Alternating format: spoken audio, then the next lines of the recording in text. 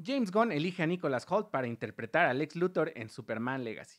Bienvenidos a Cinemas News, mi nombre es Alberto Torres y entramos directo con la información.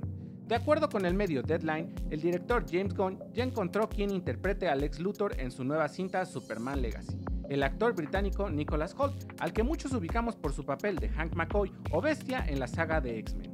Además de que siempre estuvo en la mira para el papel del archienemigo de Superman, el éxito que ha tenido al trabajar con el estudio Warner en Mad Max Fury Road en 2015 y su participación en el próximo proyecto de Clint Eastwood, Jurado número 2, influyeron en la elección. También hay que recordar que la semana pasada el mismo medio Deadline confirmó que The Engineer, la villana, sería interpretada por la actriz venezolana María Gabriela de Faria, a quien podemos ubicar por series como Deadly Class, Grachi o Yo Soy Frankie por lo que con la confirmación de Holt, el elenco principal ya está completo.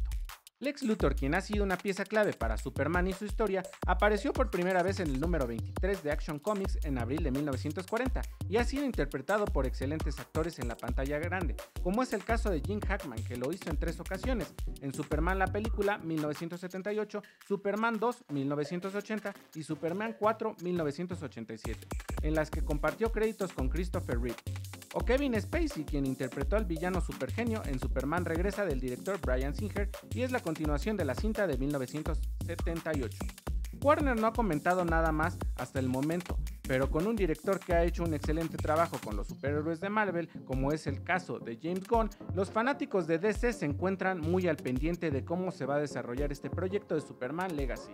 Y no cabe duda que Nicholas Holt, quien ya interpretó a un superhéroe genio en X-Men, no nos va a decepcionar. ¿Ustedes qué opinan? Déjenlo en los comentarios. Si te gustó el video, compártelo con tus amigos y no olvides que para estar enterado de las mejores noticias del cine y la televisión, debes seguirnos en nuestras redes sociales. Mi nombre es Alberto y nos vemos en el próximo video.